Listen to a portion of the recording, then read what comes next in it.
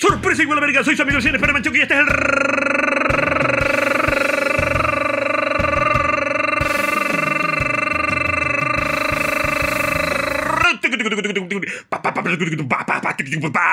¡Resumen de la semana!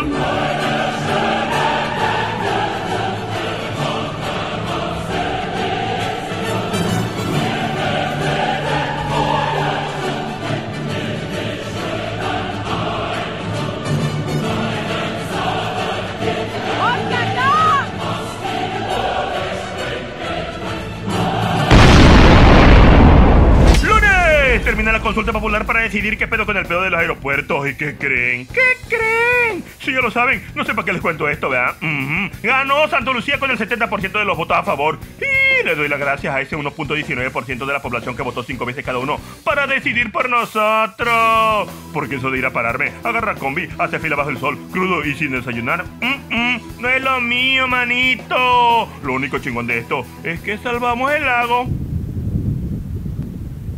Además, María Josefina Gamboa, diputada panista de Veracruz, desaprobó que el presidente electo, Andrés Manuel López Obrador, haya invitado a su ceremonia de toma de protesta al expresidente venezolano, Hugo Chávez. Entonces, cuando estás viendo esa absoluta falta de respeto, cuando tienes invitados como Hugo Chávez el Maduro, como Hugo Chávez el Maduro, como Hugo Chávez. ¿Por qué no te callas? ¡Ah, pase bruta, doña Pelo! No está viendo que Don Taleguemono falleció en el 2013, solamente que lo hayan convocado con la Ouija, porque el demonio ese se está pudriendo en lo más recóndito del octavo círculo del infierno, diabla. Estuvo el diablo aquí. Huele a azufre todavía. Martes y siguiendo con el mami imparable de los aeropuertos, el próximo titular de la SST cuyas siglas significan se la come toda. Javier Jiménez Espriu. Espriu. Es perro él. Reconoció que no existen estudios del impacto ambiental de Santa Lucía. ¿Cómo va a ser? Eso sí, afirmó que el análisis se va a hacer con rigor porque eso precisamente no se hizo en Texcaca. Pero si el daño ambiental es alto, aún así no lo van a cancelar. Mm, mm, Pues que tinta echarse para atrás, ¿no? Pero podría cancelarse Santa Lucía en todo caso si es un impacto ambiental fuerte. No, buscare- buscaremos. Mire, estamos hablando de un, de un aeropuerto que ya es aeropuerto. Bueno, ¿qué madre está pasando aquí, coño? Y el diputado de Morena por la Ciudad de México, Nazario Norberto Sánchez, presentó una iniciativa de reforma al Código Civil para que las mascotas puedan recibir herencia de sus dueños. ¡Eh! Pues yo sí le voy dejando herencia al perro.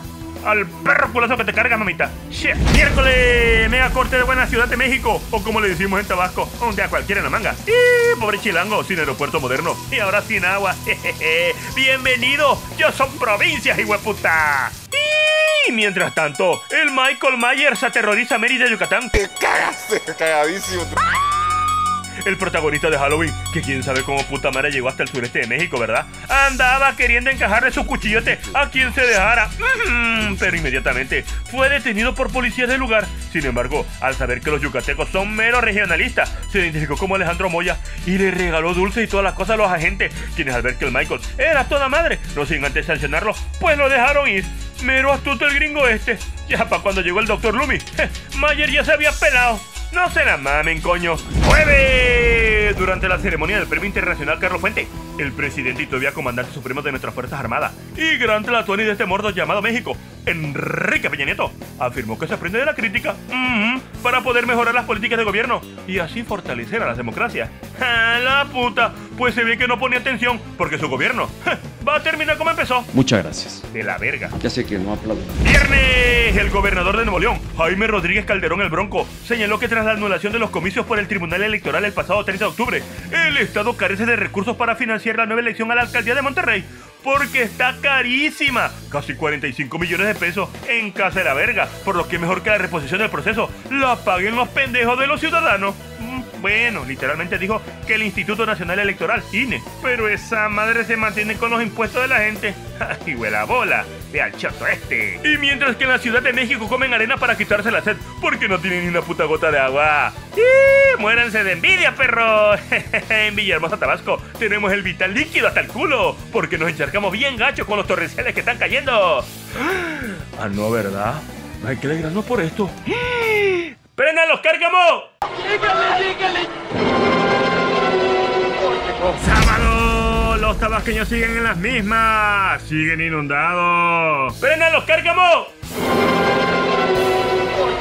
Y domingo, la Procuraduría Federal de Protección al Ambiente en Tabasco aseguró 13 tortugas, rescató dos crías de aves y liberó a un tigrillo en el cañón de Luzumacinta. También rescataron a un gaviotero, a un tamulteco, a un atasteño y a un anahuao de la manga.